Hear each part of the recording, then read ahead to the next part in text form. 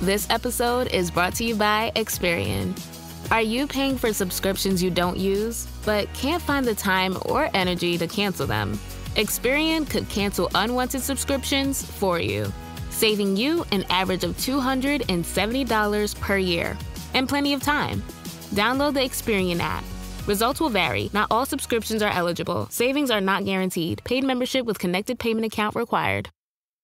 E siamo live, siamo live, siamo live, siamo live. Benvenuti a tutti in questa nuova puntata di Pen Crimini. Io sono Palla e dopo una settimana che ci ha visto con ascolti record e dobbiamo ringraziarvi, QA sul caso che sta tenendo ancora, nonostante siano passati una decina di giorni, anzi dieci giorni esatti dall'uscita della serie che mh, io ho guardato ieri, era ancora numero uno su Netflix, non so se oggi ha perso il primato, ma so che sta facendo ancora, eh, diciamo, furore sui, sui, media, su YouTube, sui podcast, insomma, tutti ne stanno parlando, noi ne abbiamo parlato, abbiamo cercato di smontare un pochettino di... Eh, diciamo false teorie, ma neanche false teorie, cioè di cercare di dare entrambi i, i lati, i volti della medaglia. Stasera risponderò, risponderò e risponderemo a tutta eh, una serie di eh, quesiti che mi avete posto, ma devo fare un... Eh, devo chiarire una cosa, io vi avevo promesso una bomba eh, per giovedì sera doveva esserci una live sul canale di Greenbaud, che è un ragazzo che streama su, su Twitch ed è uno dei più forti in Italia, eh, che non parla di cronaca nera. Doveva esserci un confronto che lui avrebbe mediato tra me e Salvagni. Eh, purtroppo l'avvocato non ha potuto esserci per, per, motivi suoi, io mm, ero a disposizione e quindi eh, il, il, dibattito non si è svolto, se no ovviamente vi avrei mandato link e quant'altro. Spero si svolga settimana prossima o più avanti io ho dato sia a Greenbaud che a chi dovere la mia massima disponibilità a svolgere appunto questo, questo confronto con l'avvocato Salvagni. Eh, avevo già in mente delle domande, mi ero confrontato con, avevo, ho parlato al telefono con un ragazzo che mi segue che è un genetista, comunque un esperto di laboratorio, ho parlato con un ragazzo al telefono per un'ora che è un esperto di cani molecolari e unità cinofile, oggi poi vi riporto tutto, ho parlato con un'avvoca- una, una, un'avvocata penalista per anche lì un'oretta mi ha spiegato delle cose. Cioè, io mi stavo preparando, stavo studiando la sentenza, stavo facendo tutta una serie di approfondimenti, perché chiaramente quando vai a parlare con Salvagni, che eh, nonostante io la pensi in maniera diversa dalla sua, però non è che posso dire che Salvagni sia un qua qua qua, anzi è proprio un un, eh, cioè una persona, è un avvocato di un certo spessore, quindi io ero anche abbastanza intimorito, diciamo, da questo, da questo confronto, quindi mi stavo preparando al meglio, conscio che l'unica cosa che potessi in realtà controllare era eh, lo studio, no? e arrivare più preparato possibile. Poi eh, il fatto che lui potesse blastarmi e distruggermi eh, era assolutamente possibile, ma eh, al di là di tutto, credo che fosse un'opportunità per quanto mi riguarda, eh, irripetibile no? avere l'opportunità per un'ora, due ore di parlare con l'avvocato, di capire meglio le sue, le sue posizioni, di confrontarci e, e, quindi io pensavo che sarebbe stato figo, poi vabbè, è saltato, speriamo che... Eh, possa succedere di, di, riuscire a far accadere questo, questo, confronto. E dovesse appunto accadere ve lo faccio sapere. Detto questo, vi invito come sempre a seguirci su Instagram, sta andando benissimo in questi eh, giorni, stiamo pubblicando tanto, io rispondo a tutti e mh, mm, ho ancora dei messaggi in sospeso, lo so, mh, mm, adesso in, questi, in, questo weekend eh, rispondo, molti a, a, cui non ho risposto rispondo col Q&A, quindi non mi scrivete poi in privato, eh ma le celle telefoniche, rispondo oggi e siamo a posto, poi qualsiasi cosa comunque scrivetemi eh, su Instagram Instagram, io vi rispondo. Vi ricordo l'ultimo appello, come sempre, di lasciare una recensione su Apple Podcast e su Spotify con le 5 stelle. È la cosa che ci aiuta di più, oggettivamente, oltre all'ascolto, ovviamente.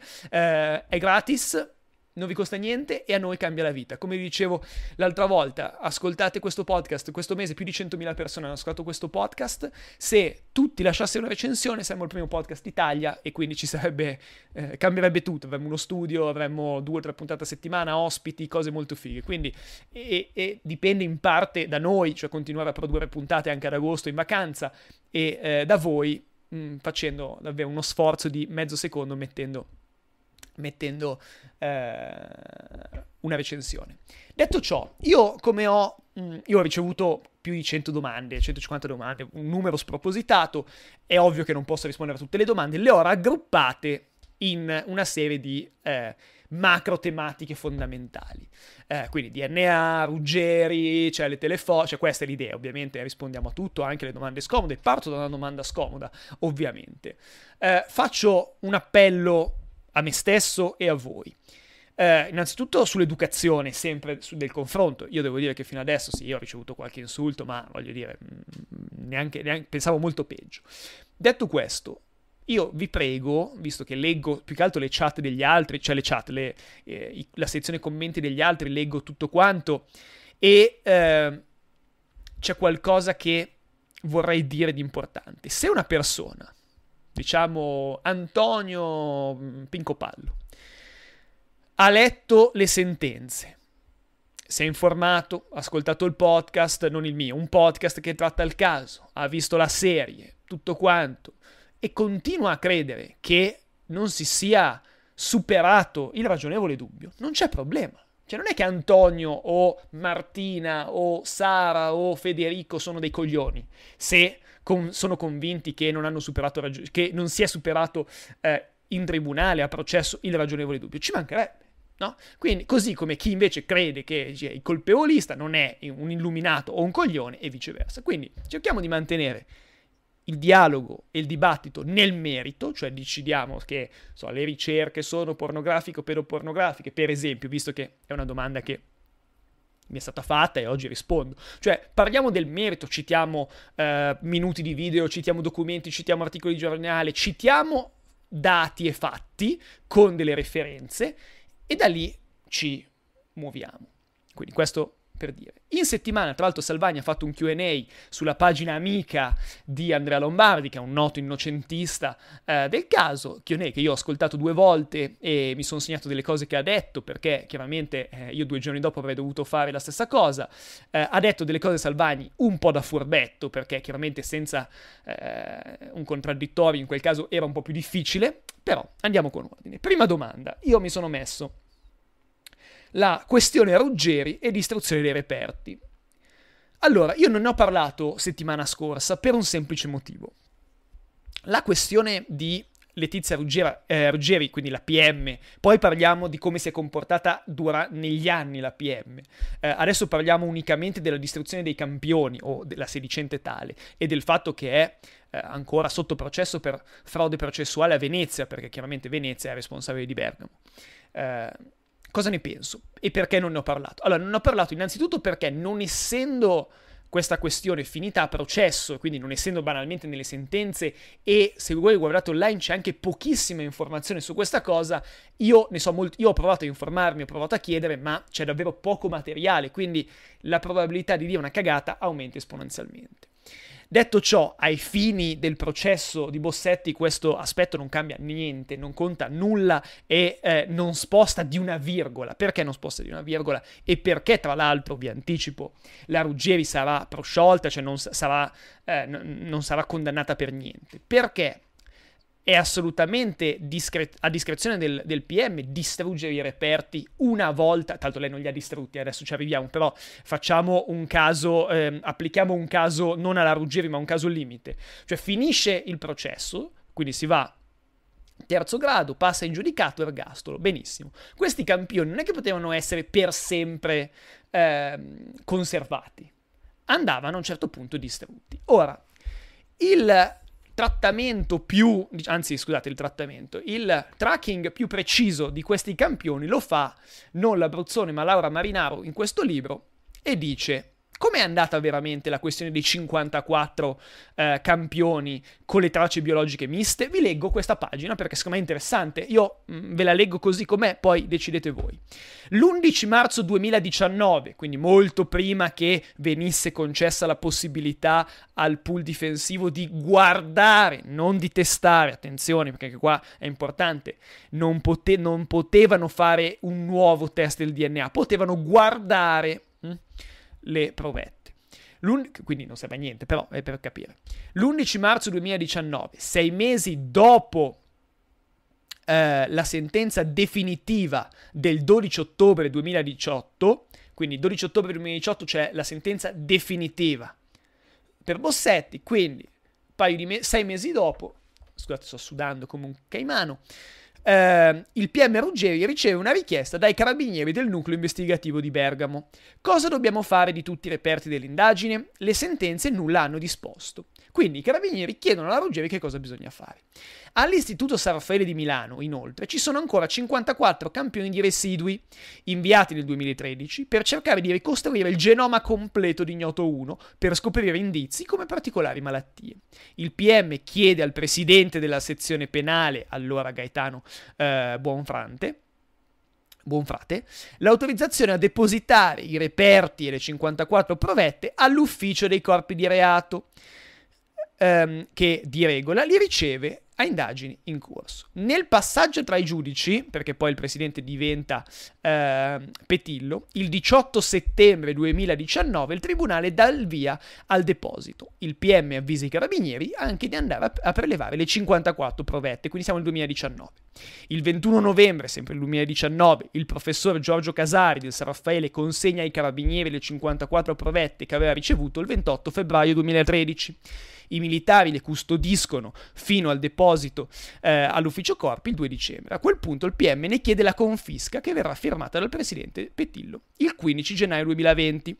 Il 26 novembre i difensori Bossetti e Camporini chiedono di poter analizzare e ricevono una serie di no, 7 per esattezza. Ok? Gli avvocati sostengono che nel passaggio a Bergamo si sia interrotta la catena del freddo con il rischio di compromettere il materiale. Anche qua, questo è quello che sostiene la, ehm, la difesa. Io non so se è vero, non ho dubbi di credere che sia vero quello che dicono ehm, Salvagni e Camporini, non c'è ancora abbastanza materiale su cui discutere. Ma ipotizziamo la situazione peggiore per Letizia Ruggeri, cioè che abbia voluto distruggere queste, ehm, queste prove. Va bene, ipotizziamo, non lo so, eh, ripeto, ipotizziamo. Allora, innanzitutto è suo diritto farlo. Poi, cosa si voleva, cioè il punto fondamentale è questo. avrebbero mai potuto rianalizzare quelle prove? No, il caso è chiuso. Il, il processo è finito. Quelle prove non sarebbero mai potute essere riutilizzate. Sarebbero dovute, sta, eh, sarebbero dovute essere rianalizzate durante il processo. Ma poi vi leggo una questione importante, anzi ve la leggo subito, perché a pagina 184, che adesso andiamo subito a prendere, della sentenza c'è una cosa molto interessante sui reperti, perché come vi dicevo settimana scorsa, guardate che quasi tutte le eh, problematiche emerse nella serie sono ampiamente superate in sentenza. Eh, a un certo punto, a metà di pagina 184, si dice in sentenza Va, d'altro canto, ricordato che mai in precedenza la difesa aveva avanzato richiesta di esaminare i reperti per conto dei consuletti Ranalletta, medico legale, Gino e Capra, genetisti. Richiesta finalizzata all'espletamento delle loro consulenze. Del resto, i reperti erano stati accuratamente fotografati e nel corso dell'esame della consulente Cattaneo ogni domanda era stata posta anche sullo stato e conservazione dei reperti. Vi, vi dico una cosa in più su questo. Capra, il genetista, prima di prendere la difesa di Bossetti, ha partecipato a uno de- era parte di uno dei laboratori dei RIS dove hanno analizzato parte dei reperti, quindi lui li ha visti i reperti. Questo cosa, voglio dire sostanzialmente? Immaginiamo anche che la Ruggeri volontariamente abbia compromesso i campioni. Quei campioni non sarebbero mai stati rianalizzati, anche perché cosa avrebbero dimostrato? Tutto e niente. Se fossero stati inutilizzabili, cioè facevano un test e non veniva fuori niente. Non è che era quindi innocente Bossetti. Attenzione a questo passaggio, che è quello che un po' vi fanno credere. Non ce li hanno, cioè adesso il claim di Netflix è, sem- che dice Bossetti nella puntata, vi sembra che uno colpevole eh, pal- dice dal primo giorno di, far- di, rifare l'analisi del DNA? Cioè ha senso. Questa cosa funziona molto bene perché eh, effettivamente pone un problema ma allo stesso tempo loro hanno avuto tutta la possibilità di rifare il test del DNA. Mi spiego meglio. E qui facciamo un po' di storicità della, della situazione. A giugno 2014 viene incarcerato Massimo Giuseppe Bossetti. Dopo qualche tempo assume Salvagni, Salvagni arriva in carcere. Ora, com'è andata? Noi non lo sappiamo, io me lo posso ovviamente immaginare, è una mia ipotesi. Ma quando Salvagni entra in carcere e parla col suo assistito, prima ancora di presentarsi, gli avrà detto una cosa del tipo: facciamo un test di paternità. Perché è molto più importante il test di paternità rispetto a tutto il resto. Cosa intendo? In quel momento l'unica certezza granitica non era che Ignoto 1 era Massimo Giuseppe Bossetti, perché quello era una notizia abbastanza fresca, ok? La certezza che si aveva già da tempo era che il DNA di Ignoto 1 trovato in un punto estremamente sensibile vicino a una ferita sui leggings e sugli slip di Yara e quindi attribuibile verosimilmente all'assassino, era un figlio di Giuseppe Guerinoni, autista morto nel 1997. Si scopre più recentemente che era figlio di Esther Zuffi. I due non avevano avuto un figlio legittimo e quindi si stava cercando il loro figlio. È ovvio che Massimo Giuseppe Bossetti, non sapendo di essere figlio di Giuseppe Guerinoni, in prigione, ma anche... Perché dicono? Perché non è scappato quando hanno scoperto che c'era il DNA di Ignoto 1? Perché lui dopo un po' scopre che il DNA di Ignoto 1 era del figlio di Giuseppe Guerinoni. Lui è convinto di essere figlio di Giovanni Bossetti. E quindi dice, cazzo, mi è andata benissimo, non, non sono io. Quindi quando Salvagni va in prigione, la prima cosa che fanno, ma prima ancora di salutarsi, è facciamo un test di paternità. Perché se il test di paternità è di Giovanni Bossetti, come tutti, tranne Esther Arzuffi, erano sicuri al 100%, oggi ehm, Bossetti sarebbe ovviamente libero. Quando fanno il test e torna che non c'è concordanza biologica con eh, Giovanni Bossetti, ma c'è con Guerinoni, a quel punto tutti i discorsi successivi sul DNA lasciano un po' il tempo che trovano, perché è evidente che non ci può essere un errore se loro hanno fatto questo procedimento al contrario. Al, a quel punto, come vedete storicamente, non si va più a stabilire se quel DNA è suo o non è suo, perché sia Capra che Lagino, che sono i consulenti genetici, eh, genetisti difensivi eh, di Bossetti, ammettono entrambi che il DNA nucleare di Ignoto 1 corrisponde a quello di Massimo Bossetti. Quindi la discussione si sposta su come è stato sulla catena di controllo. È stato repertato bene, è stato trattato bene, i controlli positivi, i controlli negativi, il mitocondriale, che è tutto fumo ok?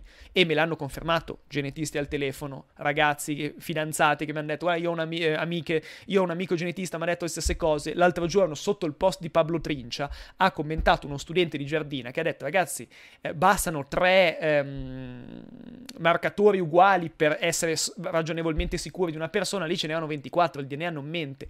Cioè, il punto è fondamentale su, da questo punto di vista. Quindi, sulla, eh, sui controlli e chiudo questo, mm, questa parte sul DNA perché ho altre 50 domande se non finiamo più. Il punto delle richieste della difesa è un punto che io avrei detto a Salvagni, poi lui ovviamente si sarebbe messo a urlare, ti querelo, va bene, però il punto è, la, le richieste che fa la difesa sono delle richieste che sanno benissimo che non le sarebbero mai state eh, accettate, ma che sono molto utili per poi lamentarsene in pubblico. Questo è il punto fondamentale. Poi, se vogliamo entrare nel merito, e io su questo sono dalla parte di Bossetti, cioè, però non è previsto dall'ordinamento italiano quello che vi sto per dire. Cioè, se uno mi dice che quando si fa un'indagine genetica bisogna tenere di fianco un pezzettino del DNA o un pezzettino dello slip e, congelarlo e darlo alla difesa eh, una volta che eh, si trova ignoto uno, io sono d'accordo. È giusto secondo me. E sono d'accordo che sia una minorata difesa da un certo punto di vista. Ma l'ordinamento italiano non prevede eh, non prevede questa cosa qua. Eh, questo è il punto. Poi, se vogliamo cambiare l'ordinamento, va benissimo e sono d'accordo. Ma qua c'è diverso. Rick, hai scritto una cosa che non è esatta, perché c'è un commento che dice: Comunque, diciamo anche che se il primo che hanno trovato alla discoteca non aveva l'alibi che stava in Sud America, adesso è in carcere lui. Ma assolutamente no, perché aveva un DNA che coincideva per l'87%, mentre quello di Bossetti con, ehm, coincide per il 99,99999987%. Quindi capite che sono ordini di grandezza che non c'entrano assolutamente nulla. Quindi, secondo punto fondamentale, cani molecolari. Allora, vi dicevo, sono stato al telefono l'altro giorno un'oretta con un eh, simpaticissimo ascoltatore che mi ha scritto appunto che eh, fa questo di lavoro, mi ha spiegato varie cose e eh, vi dico un po' il senso. Mi ha detto chiaramente che non è una scienza, che però i cani molecolari svizzeri che sono stati eh, chiamati Diciamo che in Svizzera c'è una tradizione dei cani molecolari molto più sviluppata che da noi e che lui tende a fidarsi appunto dell'approccio che hanno i cani molecolari svizzeri, mi ha confermato ovviamente che nel momento in cui una persona sale su una macchina e hai la macchina ha i finestrini su e la persona è ehm, appunto dentro, la traccia si perde, ma ci sono, mi ha detto lui, dei modi per capire se il cane ha perso la traccia o no. Detto ciò, mi ha detto anche un'altra cosa interessante. Il cane che va verso il cantiere è solo uno, poi gli altri cani lo seguono, no? E gli ho chiesto questa cosa e lui mi fa, guarda, eh, spesso quando un cane va da una parte, gli altri cani poi tendono a seguirlo. Cosa vuol dire a seguirlo? Cioè ad andare lì perché hanno visto che il cane è andato da quella parte e non è morto, quindi è una situazione diciamo di non pericolo e tendono a seguirlo.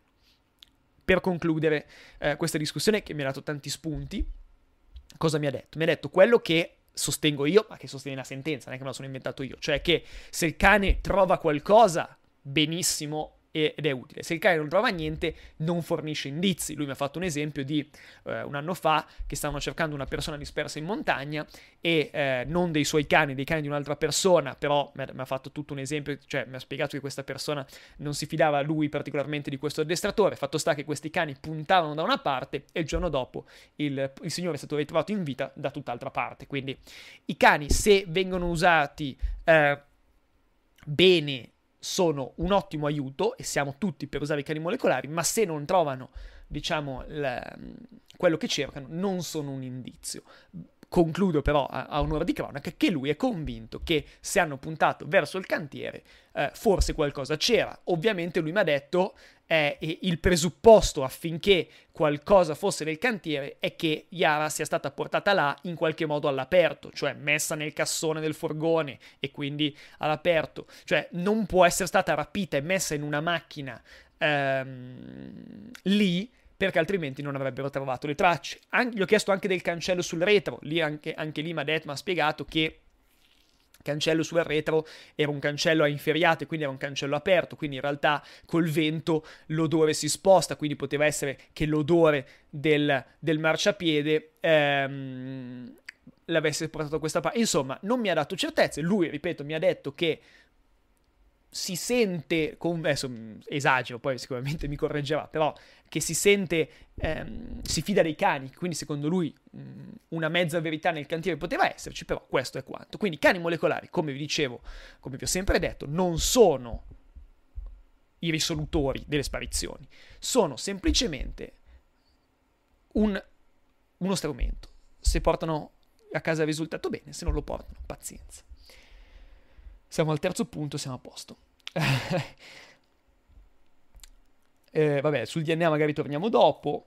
Ehm, ah, Esther Arzuffi, perché in tantissimi hanno chiesto, ma Esther Arzuffi come fa a dire quelle cose? Allora, parto dal presupposto che la signora Arzuffi non c'è più, quindi purtroppo è passata a miglior vita. Io non, non ho la eh, tendenza... Eh, a parlare male delle persone decedute. Io l'unica cosa che mi sento di dire è che quello che ha sostenuto, lo, cioè l'avete sentito tutti, cioè non è che ve lo devo dire io, e l'illogicità di quello che ha sostenuto non la manifesto io, la manifestano i suoi figli, cioè che a un certo punto anche loro no? dicono ma questa cosa sta dicendo esatto, perché non ci... Bossetti si dice perché non mi dice la verità. Io non so perché sia tenuta questo segreto, non lo so, non mi interessa. Vi dico che quello che è successo, a maggior ragione con il terzo figlio, cioè il terzo fratello, anche lui non di Giovanni Bossetti, eh, è abbastanza evidente, non, non, devo dirlo io, non so perché la signora abbia eh, preferito, diciamo, tenere questo, questa linea, fatto sta che eh, si, si, commenta un po' da solo, ecco. Eh, mi hanno chiesto la strategia difensiva degli avvocati, anche questo è molto interessante. Allora, la strategia difensiva degli avvocati. È molto semplice da un certo punto di vista, nel senso che Salvagni, come vi dicevamo prima nella nostra ricostruzione del loro incontro, arriva, gli dice, sei stato tu? Squagli lo chiede. Ora, io non so cosa gli abbia risposto Bossetti, ve lo dico sinceramente, ci ho pensato tanto. Ovviamente nessuno dei due ce lo dirà mai. Ma analizziamo le due, questa live durerà sette ore probabilmente, però magari la spezziamo in due. Immaginiamo una doppia risposta. Allora, Salvagni entra. Caro Massimo, sei stato tu? E lui, e Bossetti dice no, non sono stato io. Benissimo, cosa si fa in quel caso? Secondo me, eh, cioè cosa può, può aver pensato, eh, cosa può aver mai pensato Salvagni? Facciamo il test di paternità, il test paternità tor- di paternità torna e c'è quel problema lì, cioè che dimostra sostanzialmente che il lavoro fatto dalla procura è corretto, a quel punto Salvagni cosa pensa secondo voi? Questo è il punto fondamentale. Cioè cosa pensa Salvagni a quel punto lì? Perché se torna e dice no, Bossetti è innocente, quel DNA è sbagliato, lì bisogna fare un incidente probatorio immediatamente sul DNA, cristallizzare quella prova e andare a processo. Chiedi rito abbreviato e vai a processo per quella roba lì. È così, cioè, è, se tu sei convinto, se tu sei certo, nonostante un test che hai fatto, tu, che quel, perché loro in quel momento non hanno ancora i dati grezzi, eh? attenzione, siamo in un momento, all'inizio, tra il, 2000, il processo inizia nel 2015, nel 2014 non hanno ancora i dati grezzi, quindi loro non sono sicuri, ma nel momento in cui torna quel test di paternità, che è il punto della serie, il, io lo sapevo già che l'avevano fatto, anche perché, a parte che era logico, ma lo dice anche la dottoressa Gino in udienza che, hanno, che, lei ha rifatto il test di paternità ed è tornato quello che è tornato. Ma in quel momento, se tu, nonostante quel test, attenzione, nonostante quel test, sei sicuro che quel DNA non sia di Bossetti, fai un incidente probatorio, chiedi il rito abbreviato, vai a processo solo con quella prova, tanto sei sicuro che non è la tua, quindi fai, la smonti e Bossetti è libero. Il punto fondamentale, signori, è che secondo me, questo io l'avrei chiesto o lo chiederò a Salvagni, io sono certo che loro da subito sapessero che quel DNA era bulletproof a prova di proiettile, cioè non c'era verso che quel DNA non fosse di Bossetti. Dando poi un altro anno perché non hanno chiesto il rito abbreviato, non solo hanno consentito di far passare tempo ma hanno consentito poi di trovare, cioè le telefoniche, il furgone, le ricerche e Pinco Pallo, le sferette, la calce e compagnia. Questo è il punto. Quindi la strategia difensiva, se fosse se stato convinto di quello, sarebbe, dell'innocenza, sarebbe stata, immagino, così mi hanno detto un paio di penalisti, ehm, incidente probatorio, rito abbreviato. Perché, attenzione, questa cosa del rito abbreviato gliel'ha chiesta anche Lombardi. Ha detto, dicono che avresti dovuto chiedere il rito abbreviato e Salvagni, che non è scemo, attenzione, anzi, dice una cosa sacrosanta. Dice, se io chiedo il rito abbreviato, con, tut, con i, i, capi d'accusa che ha e le aggravanti che ha, e viene condannato, piglia 30 anni lo stesso, ma io non mi posso difendere nel merito, dice lui, ed è giusto, ed è vero. Infatti cosa fa Salvagni? Dice, tanto l'alternativa qua è, prendo 30 anni e non posso difendermi o rischio l'ergastolo ovviamente se poi vinco mi assolvono con, potendo difendermi. È ovvio che a quel punto non la chiedi il rito abbreviato. Nessuno avrebbe chiesto il rito abbreviato, sapendolo colpevole evidentemente, perché tanto te la vai a giocare. Questo è un po' il punto fondamentale, secondo me ovviamente. Uh, la dinamica omicidiaria, ecco, questo è un punto secondo me interessante e non se ne parla mai, per esempio, se ne parla molto poco. Cioè, io ho dei dubbi su questo caso, non, ripeto, di attribuzione, è stato o non è stato, io non ne ho, poi se voi avete non è assolutamente un problema. Che, che, dubbi ho su questo caso? Io ho due dubbi fondamentali. Il movente, nel senso che sì, è un predatore sessuale, va bene, mi convince fino a un certo punto, ma ovviamente non escludo la possibilità, eh, anche perché in quel momento Bossetti poteva avere difficoltà con la moglie, uno, uno stato eh, psico, psicofisico magari non, non al meglio, va bene. Movente poi sapete che non sono un grosso fan dei moventi, poi anche ci sono dei casi come quello che abbiamo appena visto di Bozzoli che si basano unicamente sul movente e quindi chiaramente eh, il movente lì è fondamentale, ci sono dei casi come questo dove il movente non serve nel senso che sapete che mh, per condannare una persona non è necessario stabilire un movente. Quindi, però, il movente è interessante discuterne perché era un pedofilo, non credo, eh, era, mh, aveva la passione per le ragazzine, forse sì, ma chi ha la passione per le ragazzine e poi finisce a ucciderle, era premeditato, era mh, non premeditato, cioè sono, c'è spazio di manovra sul movente, secondo me, per discutere, assolutamente. E in più c'è tanto spazio di manovra sull'azione omicidiaria, cioè come è salita Iara eh, sul furgone, eh, le, le, si è inventato una balla, se, queste cose non si sanno ovviamente, eh, sono interessanti, sì, ma non se ne discute mai perché obiettivamente lì si va a ipotesi, sul resto invece non ci sono ipotesi, ci sono secondo me delle certezze. Um, Oh, interessante, questa cosa non l'ho trattata nell'ultima live, mi sono dimenticato, eh, vi dico la verità, me l'avevo segnata, tra l'altro, oh, ma ho chiuso la live e ho detto, cazzo, non ho detto una cosa molto interessante.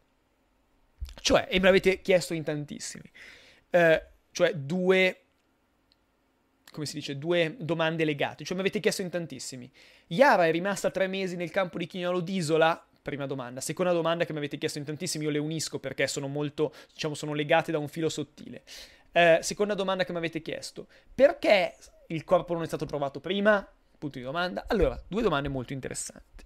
Cosa dice la sentenza e cosa dico io, nel senso come commento la sentenza? La sentenza afferma in maniera al di là di ogni ragionevole dubbio che il corpo di Yara Gambirasio finisce nel, nel campo di Chignolo d'Isola eh, subito, appunto dopo la sparizione, muore lì e rimane lì tre mesi. Questo è quello che dice la uh, sentenza.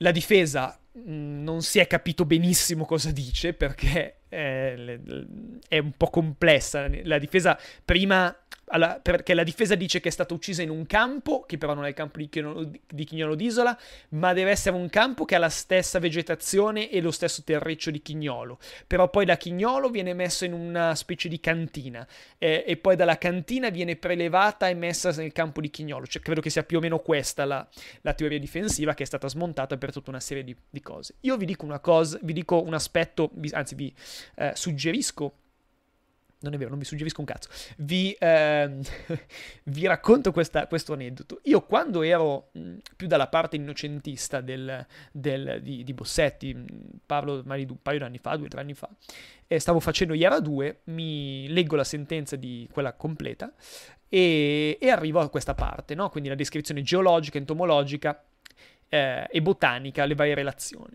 E io mi sono convinto per la colpevolezza di Bossetti, aspetti per questo aspetto. Perché lo studio che viene fatto dalla Cattaneo e dai vari esperti, per me è uno studio che va al di là di ogni ragionevole dubbio. E infatti, cioè, come si capisce se uno studio è fatto bene? O se una perizia è fatta bene?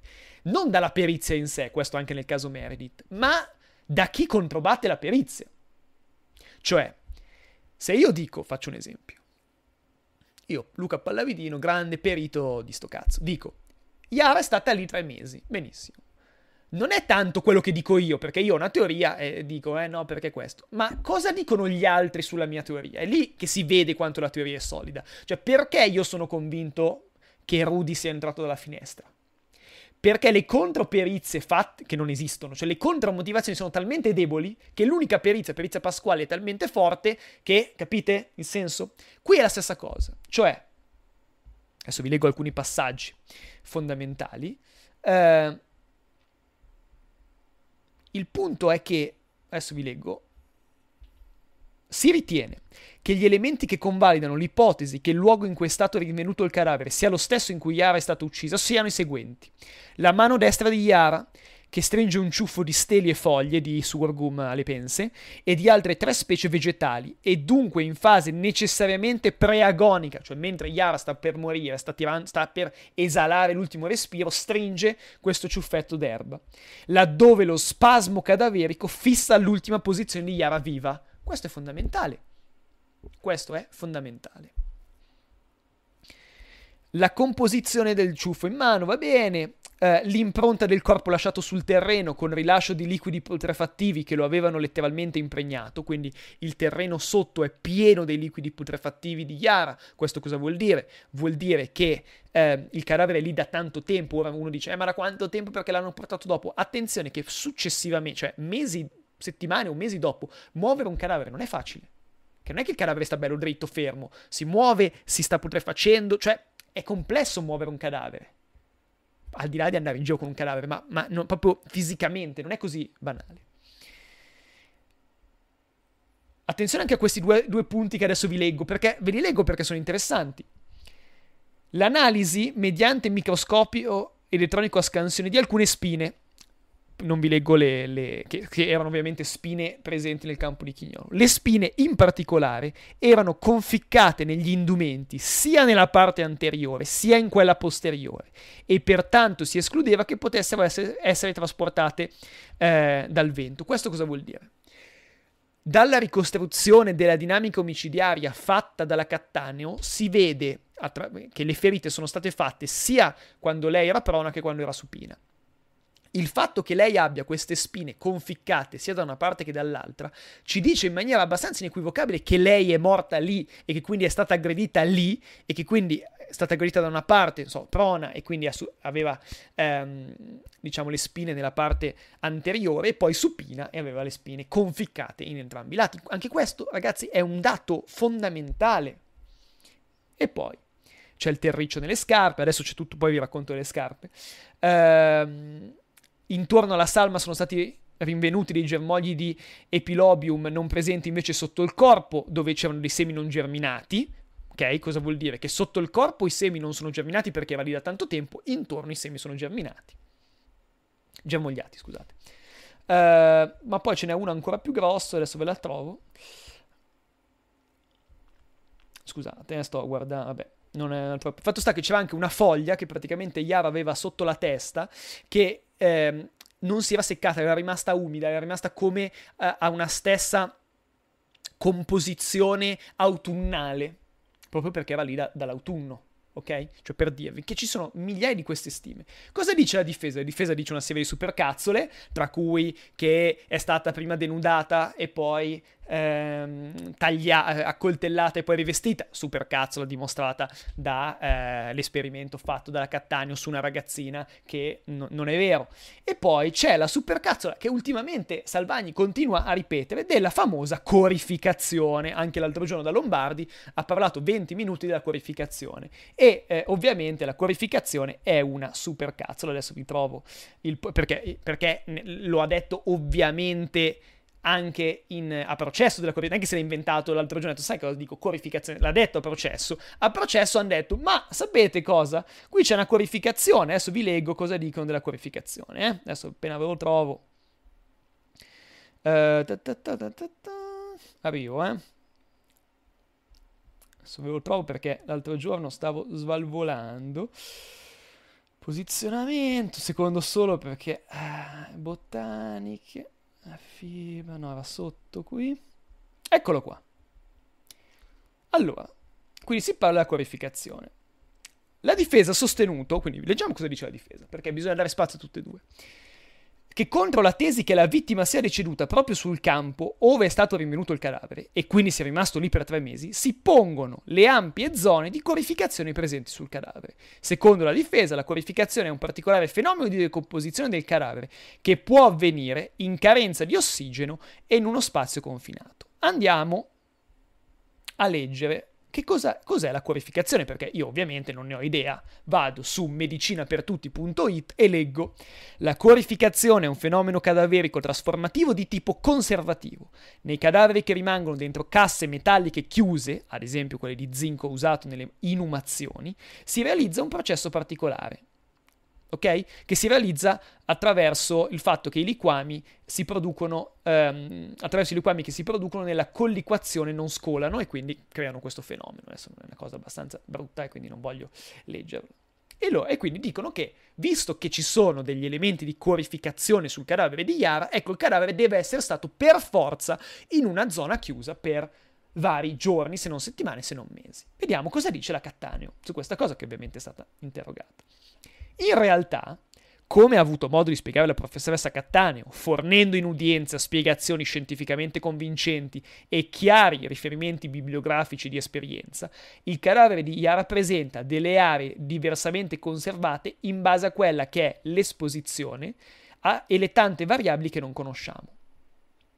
Ha anche, cosa vuol dire, cosa sta dicendo? Che ogni parte del corpo, essendo una parte va sotto il piumino, una parte sotto i leggings, una parte va all'aria aperta, una parte... Cioè, ogni parte del corpo è stata si è degradata in maniera diversa perché c'erano tantissime variabili, c'erano dei microclimi che si creavano per esempio all'interno delle maniche del giubbotto, ma ve lo leggo, non è che ve lo dico io. Anche chiaramente e convincemente spiegato da docente della materia ed esperto medico legale di grandissima professionalità che, aperte virgolette, quindi è una citazione della Cattaneo, la corificazione è uno di quei processi conservativi che esiste soltanto nella letteratura italiana, perché la letteratura di Oltralpe non la tiene in considerazione e chiama tutto mummificazione. Vabbè, questo non frega un cazzo. Um, Qui abbiamo un versante di mummificazione più umido che si chiama corificazione, la dinamica conservativa che impedisce fino a un certo punto quella che è poi la scheletrizzazione. Aggiunge anche un braccio che è coperto da indumento e per qualche motivo cambia il microclima all'interno e lo rende meno secco rispetto alle gambe, magari so, che non, magari non sono vestite o ha degli indumenti che lasciano traspirare di più, il braccio può essere co- eh, corificato, la gamba no. Stesso, eh, stesso posto, ma diverso risultato. Cioè capite la differenza? Cioè lei dice il fatto che la gamba non sia corificata, lei dice mummificata, e il braccio sì, non è perché è stata in una cantina, ma perché avendo indumenti diversi che hanno materiale, spessore, ehm, traspirazione diversa, si creano dei microclimi diversi che producono, ok, una degenerazione diversa tra cui hanno prodotto in alcuni casi qualcosa che assomiglia alla corificazione, lei dice giustamente mummificazione, non corificazione, eh, corif- eh, vabbè non me lo ricordo più, eh, e ci siamo capiti. Ok? Quindi anche tutta questa parte che lui, continu- che Salvani continua a ripetere, non è vera. È già stata smentita. Loro dicono eh, c'è stata la corificazione. Non è vero. E ve l'ho dimostrato. E va bene. Siamo a 40 minuti, io sono a un terzo di quello che volevo dire, ma va bene così. Uh, quindi il corpo è rimasto lì per tre mesi? Questa è la domanda fondamentale. Sì, ci sono studi che non sono stati smentiti da una difesa che è stata definita debole, cioè le, eh, ehm, le motivazioni della difesa non sono state definite convincenti, sono degli studi botanici, entomologici e geologici. E direi che ci siamo. Ma la domanda che poi mi ponete voi è una domanda intelligente, cioè perché però il cadavere non viene trovato prima fosse stato lì? Perché nella serie ci sono varie persone che dicono eh, sono passato di qua, il cane l'avrebbe trovato, la gente che corre, gli elicotteri e tutto quanto. Ed è vero, attenzione, io l'ho sempre detta questa cosa. Ora, ci sono due motivi, secondo me, per cui il corpo di Yara non è stato trovato prima. Il primo è semplicemente una casualità, cioè il fatto che qualcosa sia, passatemi il termine, in bella vista e non venga trovato può essere tranquillamente riconducibile al caso. Ok? Però c'è un secondo aspetto interessante, cioè quando Ilario Scotti, l'aereo modellista che trova il cadavere, quindi gli cade il modellino, vede il cadavere, si spaventa, ok, lui si spaventa, lo dice ovviamente a processo, mi allontano e chiamo i carabinieri, quando mette giù la chiamata coi carabinieri, non mi ricordo se questo passaggio c'è nella serie, ma mi sembra di sì, lui si gira e si preoccupa di che cosa? Dice, ho paura che i carabinieri mi non mi credano, mi prendono per pazzo perché lui non ritrovava il cadavere dopo che ha fatto 5 metri. Questo cosa vuol dire? Che il cadavere era nascosto da un insieme di vegetazione che era cresciuta in quel campo e che quindi era molto molto difficile recuperarlo. Non, riusciva, non, è riuscito a ritrovarlo uno che l'ha trovato un minuto prima, chiamato i carabinieri, non lo trovava più, anche perché poi, soprattutto con il passare dei giorni, eh, il corpo non è che era un corpo come ce lo immaginiamo noi. Io ho visto la foto non censurata del cadavere di Yara. Ragazzi, quello perché c'è un giubbotto sopra che assomiglia a un giubbotto, ma se no davvero fai fatica a pensare che sia un corpo umano. Cioè, se togli il giubbotto, davvero pensi che sia... Adesso voglio dire non voglio essere scabroso, non mi piace, sapete, non mi piace la morbosità, però definirlo corpo umano ci vuole anche un po' di fantasia. Quindi non è stato trovato perché quel campo, nonostante la morte di Eddie Castillo, è stato guardato soltanto perimetralmente, cioè hanno guardato il perimetro di quel campo, invece il corpo era più in mezzo rispetto, al, eh, rispetto appunto a, alla parte perimetrale. Quindi è assolutamente normale che non sia stato trovato. Dall'elicottero cosa possono aver visto? Anche la, non commento la, la, foto satellitare perché se no davvero poi risulto volgare. Uh, io sono in ritardissimo, ma vi, um, voglio citarvi ancora due o tre cose molto in- interessanti. Due cose, secondo me, che sono nella sentenza e nell'immaginario collettivo contro Bossetti, secondo me lo sono fino a un certo punto. Una, secondo me, neanche un po', che è il momento dell'arresto. Io il video l'ho visto più di una volta, io non sono convinto che scappi da, dai carabinieri secondo me è una reazione abbastanza normale, al di là che sia colpevole o innocente. Cioè, anch'io se sto giocando a padel e arrivano 20 poliziotti che mi corrono incontro, mi spavento e magari faccio anche due o tre passi indietro, io che ho la coscienza pulita e non ho problemi con la legge. Eh, quindi quel comportamento specifico, io vi dico la verità, non l'ho visto particolarmente sospetto. Intanto mi hanno chiesto, ma tu pensi che stesse scappando? Secondo me non stava scappando, anche perché obiettivamente era in alto sul ponteggio, aveva 20 persone sotto, dubito che potesse pensare a una fuga da, da, da, maratoneta, chissà neanche per dove. Quindi sul video dell'arresto, anzi io mh, mm, questo arresto in diretta e poi il video che viene fatto vedere, vi dico la verità, non mi è piaciuto. Cioè un conto è il, ehm, il mafioso, no? il, il Totorina, il... Eh,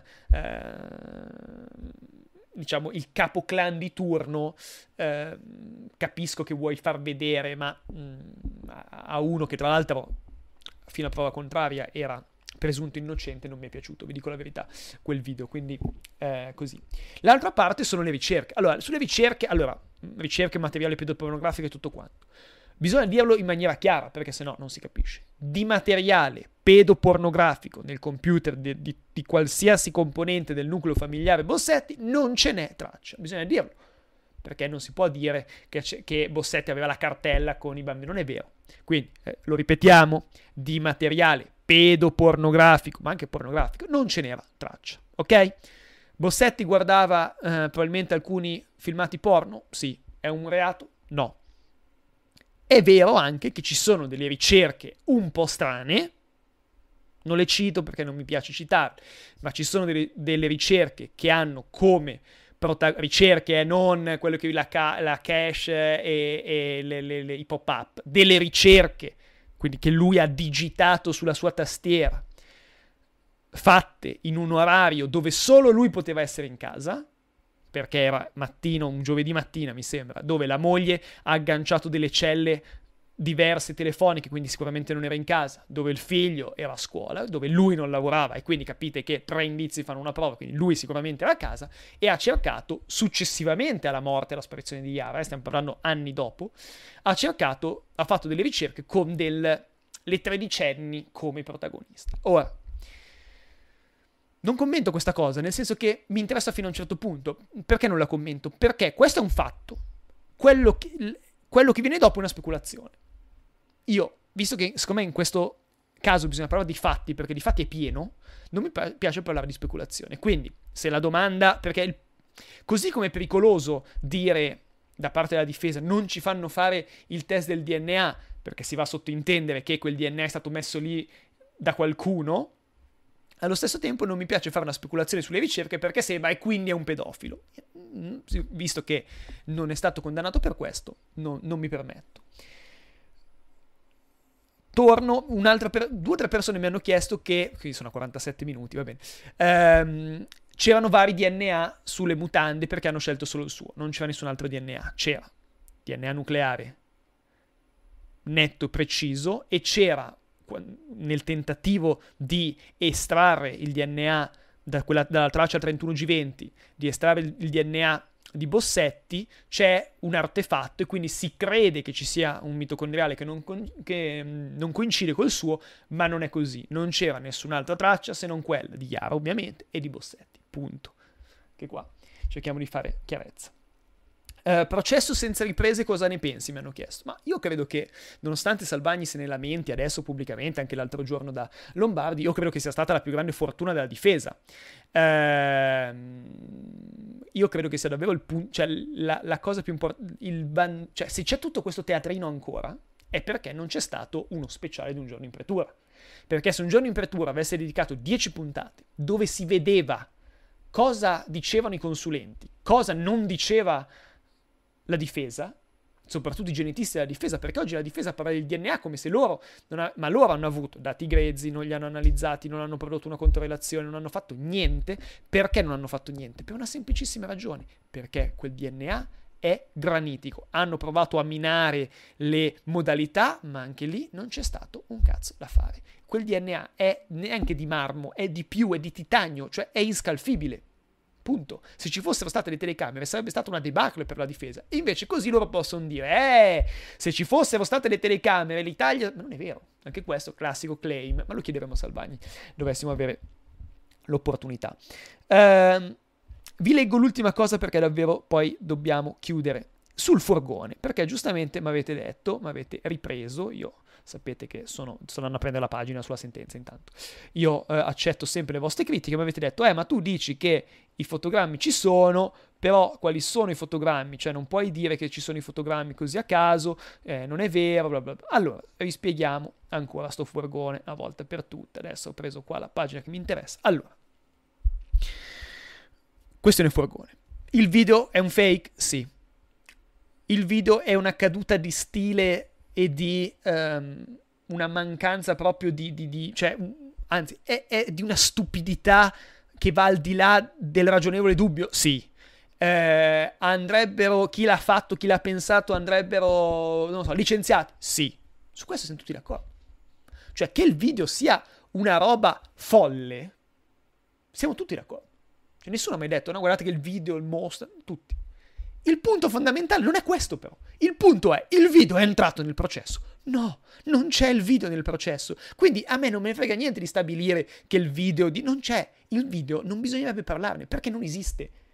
Il video non c'è. Ci sono dei fotogrammi presi da quel video, ma i singoli fotogrammi, come vi dicevo, sono buoni e ci sono 16 ehm, caratteristiche peculiari, uniche di quel furgone. Poi è chiaro che Salvani, che è furbo ed è bravissimo, dice: Eh, ma non c'è la targa. Se non c'è la targa, non possiamo dire che è lui. Quindi si può solo presupporre che, si, che sia il suo per una compatibilità, ma non possiamo avere la certezza. Certo che non possiamo avere la certezza al 100%.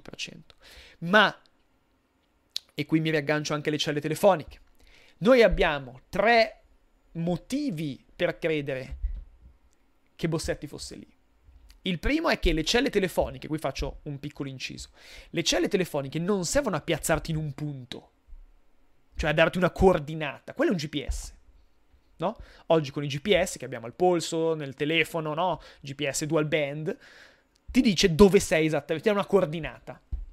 La cella telefonica ti dice, ti dà un'area piuttosto ampia.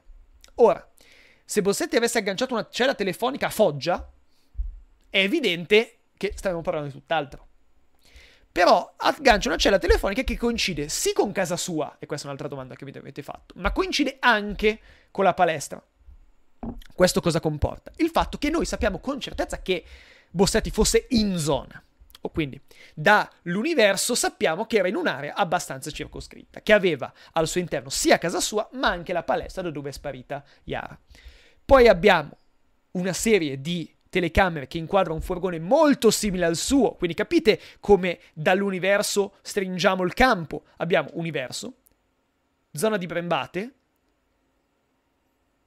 furgone e il terzo elemento è che lui stesso in vari incontri con la moglie, poi ve li, ve li leggo dopo, non è che non ve li leggo, dice di essere passato da quella rotonda. Vi leggo la sentenza.